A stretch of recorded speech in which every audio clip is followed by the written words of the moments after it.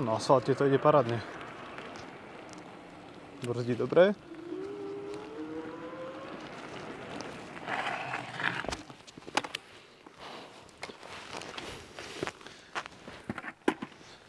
Toto je Lauti T30 AK Landbreaker, takto ho nazýva výrobca, takto sa predáva na Bengude, ale je to skutočne lepší upgrade ako populárna kolobežka Boeda.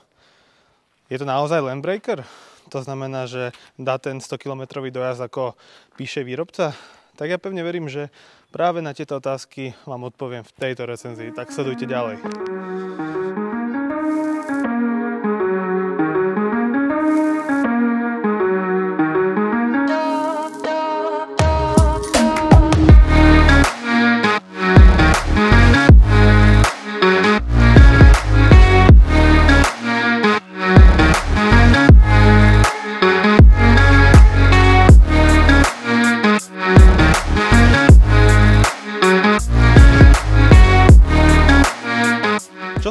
Ukrýva pod kapotou? Lauti TI30 má cca rovnaké motory ako má Boeda, čiže 2x2800 W v píku. Vo vnútri máme 38,4 Ah baterku, ktorá má 21700 články. Sú to vyššie ako pri Boede a sa baterka je zarovno s dekom. Na druhej strane je tam o mnoho, o mnoho viac miesta ako napríklad pri ES18, pri Boede a pri iných a možno, že aj pri aj Janobike T85. Už samozrejmosťou pri, pri Lauti kolobežkách sú zadné smerovky a veľmi kvalitné predné svetla, svetlomety, ktoré sa tuším volajú Angel Eyes. A určite viete asi aj prečo. Vpredu máme vidlicu, presne takú, ako má Boeda. V tej sa ale vrátim neskôr. A vzadu máme to isté pruženie, ako má Janobike, ako má Lauti S18, S18P a tak ďalej. Takže je to pružina, ktorá sa dá nastaviť takou maticou. To už v podstate asi všetci poznáte. Výhoda je tá, že sa to dá jednoducho vymeniť za kvalitnejší tlmič a tým pádom máte menej starosti, menej roboty možno s touto kolobežkou. Toto je zhruba to najvyššie, čo môžete mať, túto kolobežku. Pre ľudí ako som ja, ktorí majú takmer 2 metre, ja mám nejakých 1,90 m, tak sa stojí na tom celkom v pohode. Toto je najvyššie a necítim potrebu, aby som to mal nižšie alebo, alebo vyššie. Sú to potom tri úrovne, ako môžete mať túto kolobežku vysoko. Aby som nezabudol, tak samotná kolobežka vo vnútri disponuje dvoma 45 A ovládačmi a kolesa, tak ako som už hovoril, majú výkon každé 2800 W v píku a sú 11 palcové. Moje sú cestné gumy so šírkou 90 mm.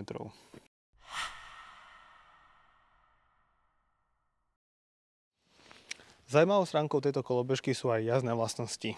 Ide o to, že táto predná bydlica je v podstate veľmi podobná, ako máte pri uh, normálnych klasických bicykloch, alebo aj Bojeda má takúto vidlicu. Pri Bojede bol problém s tým, že vidlica bola sama o sebe veľmi meká a uh, bolo počuť už pri menších nárazoch ten doraz. Moja TI-30 má naopak veľmi, veľmi tvrdú prednú vidlicu a podľa vašich feedbackov, čo som počul, tak nie všetci máte takúto tvrdú vidlicu, ako mám ja. Máte ju tvrdšiu, ako je na tej bojede, ale nie až tak tvrdú, ako mám ja. Vyslovene ja ju neviem bežným spôsobom stlačiť, to sa skôr stlačí táto zadná vidlica. No, to môže spôsobiť problém napríklad, ak chcem jazdiť offroad. Hm, ja som si samozrejme objednal kolobežku s cestnými pneumatikami a e, tým pádom som aj rátal s tým, že ja offroad veľmi nepôjdem a že ju skôr budem využívať na asfalt a na tom asfalte to drží dobre. Ale chcem vás upozorniť, ak si ju objednáte s terénnymi pneumatikami, ak chcete jazdiť terén, tak budete potrebovať nastaviť určite uh, tú vidlicu. To sa robí tak, že sa vymení olej za rieči, tým pádom to pruženie bude mekšie. Ako sa to robí, určite nájdete niekoľko videí na YouTube, kde pekne uvidíte, ako sa to robí. Je to pracné, niekomu to môže trvať 15-30 minút, niekto to môže robiť až pol dňa. T30 má okrem teda tej prednej vidlice celkom príjemné jazdné vlastnosti, ale do určitej rýchlosti. Tu chcem narážať na to, že zhruba od rýchlosti 55 až 65 km za hodinu a vyššej tu nastáva kmitanie riadenia a kolobežka dostáva wobbling. Pri bojede som to mal zhruba od nejakých 75 km za hodinu, nejaký mierny wobbling, ale tu už je celkom významný wobbling od nejakých 65 km za hodinu. Čiže bude potrebné tu asi dať tlmič riadenia. To, ide o to, že to, táto vôľa tu je moc moc silná podľa mňa. Nemá to na nejaké to bezpečie vplyv, pokiaľ idete do 50 km za hodinu, nie je ho veľmi cítiť, ale pri vyšších rýchlostiach môžete naraziť na to, že sa vám to riadenie môže roztriasť. Čiže sú dve možnosti a teda prvou, ako som povedal, je nainštalovať tlmič riadenia, alebo druhou prispôsobiť techniku a e, preniesť váhu dopredu a držať tie riadidla poriadne. Možno, že sa oplatí aj nad zmenou riaditeľ, aby boli väčšie, širšie, pevnejšie a tým pádom budete mať kolobežku ešte viac pod kontrolou. Je to fajn kolobežka, ale toto je vec, čo mi trošku vadí a chcel som, aby ste to vedeli aj vy. Dám si teraz, mám duálny motor, druhý stupeň a dám si turbo. Zakrutie to ide pekne. Plný výkon hore.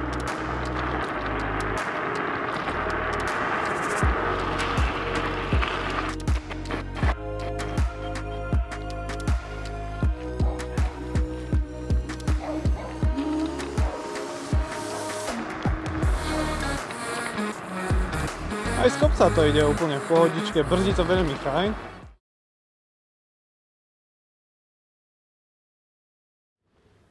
Lauti TI-30 je skutočný landbreaker. Mne s mojou váhou 105 kg a výškou 1,90 m sa podarilo urobiť za neúplne ideálnych podmienok dojazd 93 km. Po väčšine času som mal zapnutý ekorežim, prvý stupeň a jeden motor a tak som dosiahol dojazd 93 km. Vonkajšie teplota bolo ich zhruba nejaké asi 2-3 stupne. Bol aj slušný celkom protivietor. Na našom kanáli nájdete komplet video, kde som uh, sa venoval práve range testu tohto Landbreakera. Podľa mňa celkom dobrý výsledok. Za ideálnych podmienok, ak je váha jazdca niekde okolo 80 kg a vonkajšia teplota niekde možno okolo 15-20 stupňov a vyššia, tak pri ekorežime môže byť dojazd niekde aj na úrovni 110, možno aj 120 km, čo ja si myslím, že na takú víkendovú jazdu alebo na takú pohodovú jazdu, keď chcete pozerať na to, aké máte krásne okolie a krajinu, to môže byť naozaj parádny luxus.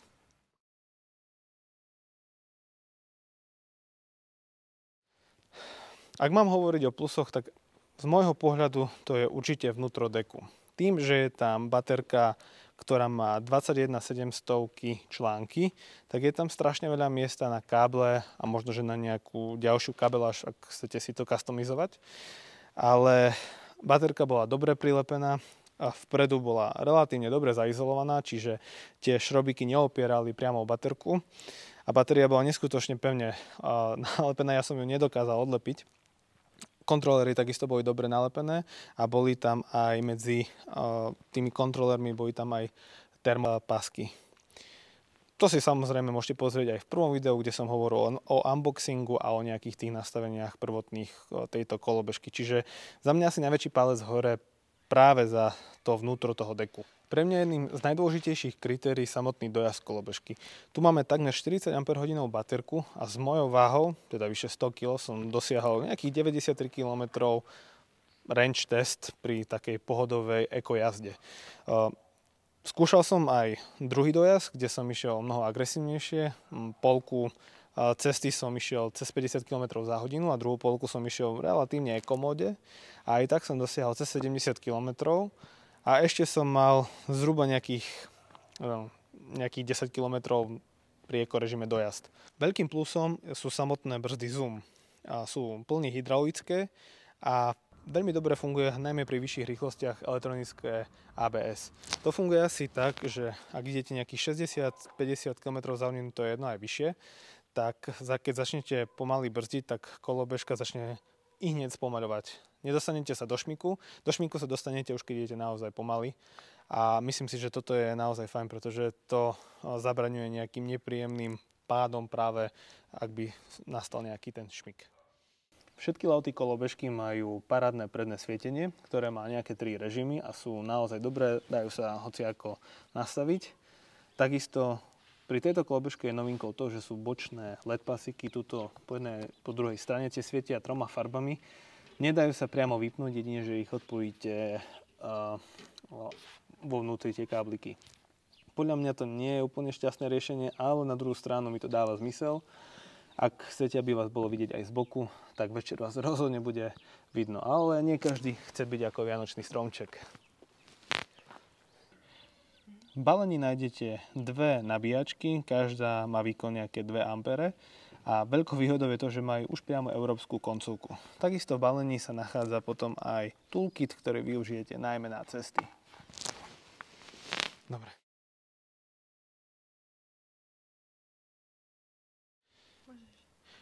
Čo sa týka nejakých záporov alebo mínusov tejto kolobežky, tak pre mňa osobne je sklamaním predná vidlica. Tá je totižto, aspoň v mojom prípade, veľmi tuhá. A v podstate pri nejakom tom bežnom skákaní sa v podstate ani nepohne. Snaď tento problém mám iba ja a vy s tým problém nebudete mať. Druhým trošku sklamaním je vrtkavé riadenie a ak obľúbujete rýchlu jazdu, tak zvážil by som asi ES19 ako option, alebo ak sa vám páči práve tento dizajn kolobežky, tak vymyslieť tam tlmič riadenia alebo preniesť poriadne váhu na predné koleso a stúžiť riadenie tak, aby ten kmitoček bol čo najnižší.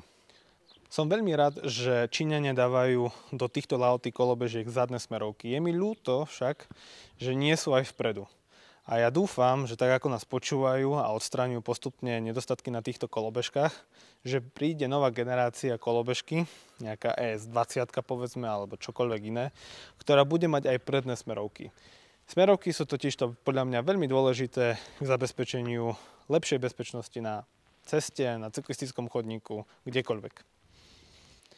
Keď tak nad tým premyšľam, kolesa sú super, sú 11 palcové, majú vysoký výkon, sú bezdušové, čiže bude sa to relatívne dobre dať meniť, ak nastane nejaký defekt.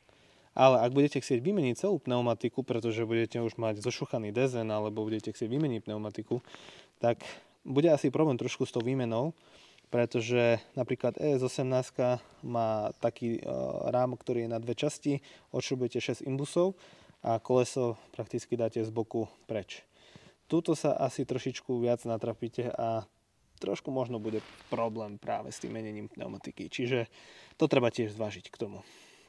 Takisto tým, že tu nie je vzduch medzi tým, ako má ES18 a ES18P alebo ES19, tak sa možno bude prehrievať aj to, ten motor vo vnútri.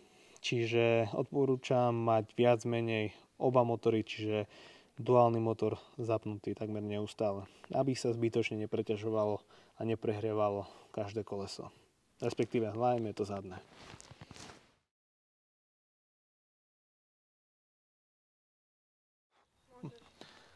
TI-30 je skutočný landbreaker.